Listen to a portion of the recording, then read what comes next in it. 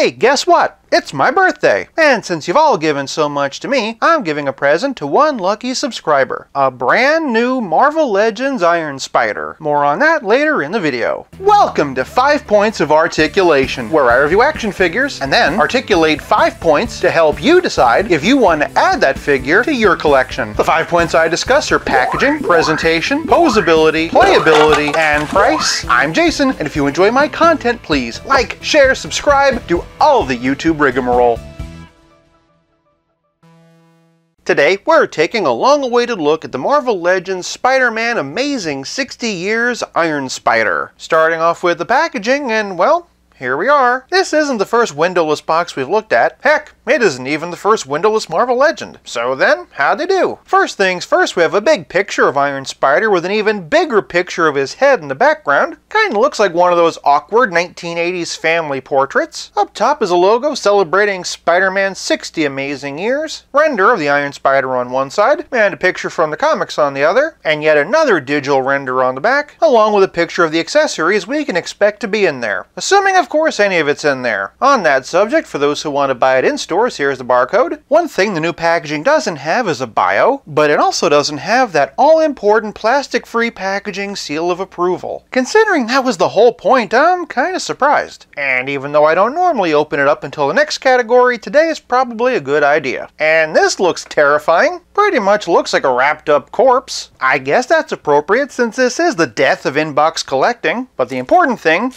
He's in there. On the one hand, I don't want to have to give every Marvel Legend half a point from here on out, but I also can't pretend I like it either. I have no idea how I'm going to be approaching this in the future, but this time, for packaging, I'm giving the Iron Spider half a point. Moving on to presentation, Iron Spider stands at six and a quarter inches. I've been waiting years for Hasbro to do this, and I am not disappointed. Mostly not disappointed. The first thing you'll notice is that he's been cast in a marbleized plastic. In general, that doesn't bother me, but none of the the pieces really match. His head is a very bright warm red, his torso is a dark cooler red, his arms are almost kind of pinkish, and the legs are barely metallic at all. It's not a deal breaker, but I do get why a lot of people don't like this. Zooming on in, and you'll notice a little bit of extra gold around the eye. I cannot stress enough that you only really notice if you zoom in and look for it, but I'd also be remiss if I didn't circle on back to the packaging. I personally prefer to buy things in stores where I can see them for myself, and between the paint job and the mismatched reds, that's exactly why. I'm not saying the quality control is going to go down. I am saying it's going to be a lot harder on those of us who are a bit choosy. Moving on down though, and the spider logo has been perfectly painted. It's also nicely sculpted and raised from the body. Flipping him around and he's just as surprised as you are. Traveling down the arm and we have these nice gold cuffs, and we see them again around the ankle. Flipping him around and there's not much more back there. One last thing to talk about are the proportions. Although he's not built on the same body as Retro Spidey, they do cut the same silhouette, and although he is a new mold, it is obvious he was based on Sunfire. That said, it's always possible that the arms and legs are built on that new pinless Renew Your Vows Spidey, but until I'm able to do that review, I'm unfortunately not going to be able to know for sure. Good thing I happen to have it. Minor blemishes aside, this is a stunning figure that more than lives up to everything I'd hoped it would be. For presentation, I'm giving Iron Spider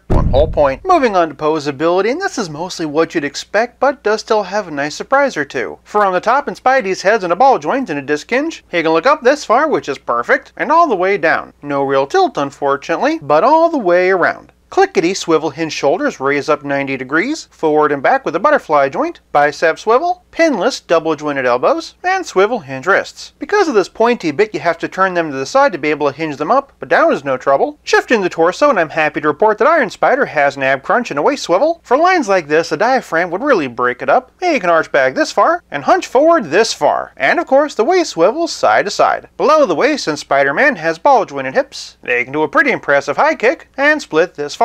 Traveling down the leg, and he has thigh cut, very tight, pinless, double jointed knees, a boot cut wonderfully hidden by this cuff, and Marvel Legends ankles that can hinge and pivot. It's worth noting that Iron Spider does have some other articulation, but that's a conversation for the next category. For posability, I'm giving Iron Spider whole point. Before we continue, if you want to give me some for my birthday, give this video a big old thumbs up so that more people see it. Moving on to playability, and in addition to these fists, he also comes with whip hands. Unfortunately, he doesn't come with wall crawling hands. If you want to try the Scarlet Spider's hands, they're unfortunately a different style of peg and sadly do not fit. But that's not his main accessory. Hey, where's Waldo's? Oh, there they are! For the life of me, I'll never understand why Marvel only gave him three instead of four, but Hasbro's done a pretty good job. In addition to a swivel hinge at the base, each Waldo comes with two additional hinges, one here and one here. Sadly, none in the middle. Even so, the range is just fine for me. That said, if you were hoping to be able to suspend him from the ground with them, you might need to readjust your expectations. One thing that surprised me is that the pegs are the exact same as the hands, so if you wanted to, you could do this, or this.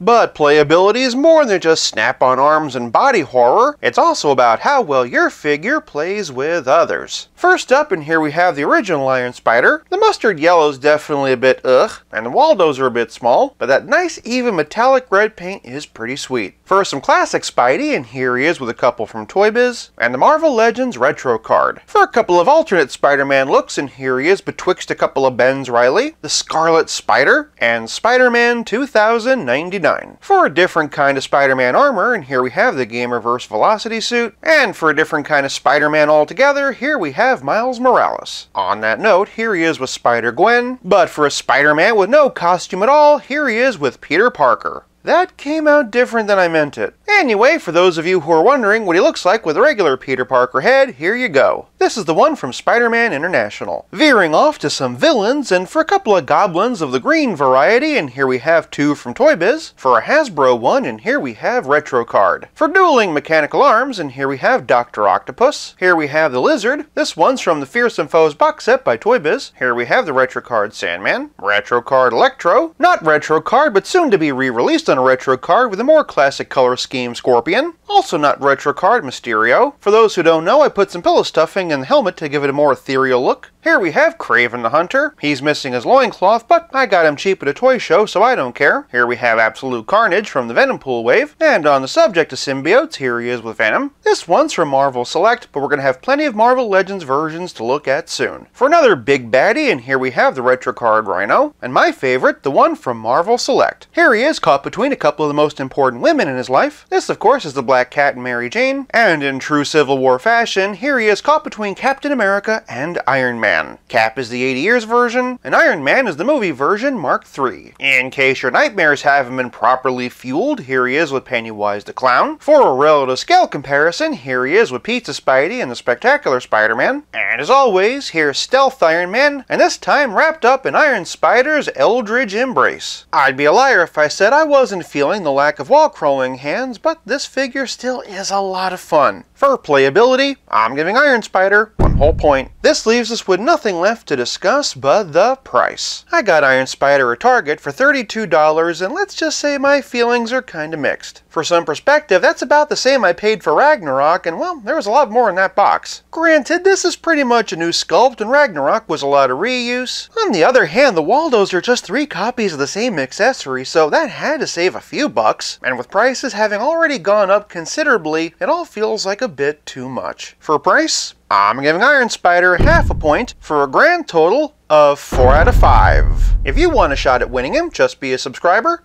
comment below that you want them, and have a mailing address in the continental United States. This video is not sponsored by anybody and there's no purchase necessary. Deadline to enter is 11.59 p.m. Eastern Standard Time on Friday, September 16th, 2022. For more Spider content, check out this Ben Riley Versus, or this look at the new Across the Spider-Verse basic assortment. Now that we're seeing them in hand, how has your view of windowless boxes changed? Sound off in the comments below. Thank you so much for watching. I'll be back again real soon, but until then, play nice and have fun.